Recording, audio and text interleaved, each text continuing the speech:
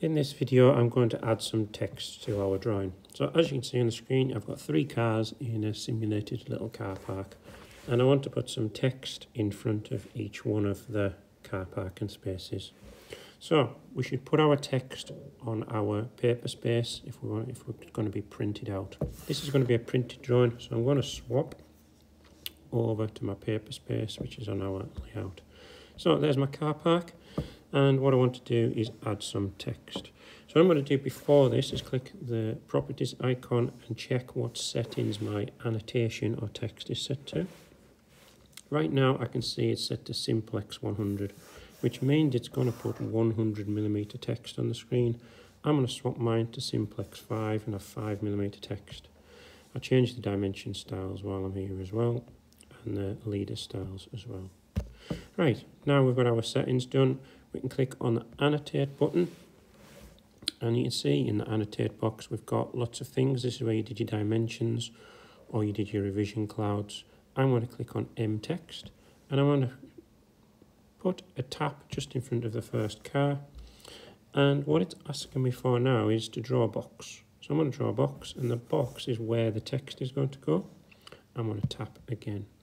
We got a pop-up screen can see in the bottom of the screen we've got a 5 telling us that our text is going to be 5 millimeters on the piece of paper and I'm going to write my name because it's my parking space. So you can see I've got a parking space there now. What I'm going to do is I'm going to do this again. I'm going to annotate text and again it's asking for a box and I'm going to draw a box and tap once more. Check the text size, it's still 5. I want to say Mr. Wilson, he can have a parking space as well. And I'm going to do it once more. Sorry, wrong button. Annotate, M text. I'm going to click, tap, and slide down. And we'll give Mr. Coulson parking space as well. So we can see now that the three engineering teachers have got their reserved parking spaces with text. If we were to print this, that text would appear and we can see that we've got text on our screen. You can move the text, you can change the size of the text, we can rotate it as well. So I'm going to go and quickly do rotate on one of them. Um, I'm going to select where I want to rotate from.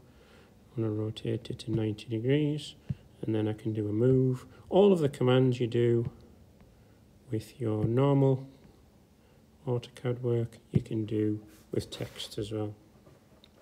So we've got our text, we've got it rotated. It can be copied. So if I click on Mr. Wilson, click copy, it's asking me for a base point. I'm going to click the bottom of the M. And we can now add an extra piece of text on there. And if you want to delete it, you can select that extra piece of text and click on erase. So you now have the ability to add text to your drawing. Make sure you understand what text you need to add to your drawing and which British standard you need to be complying with.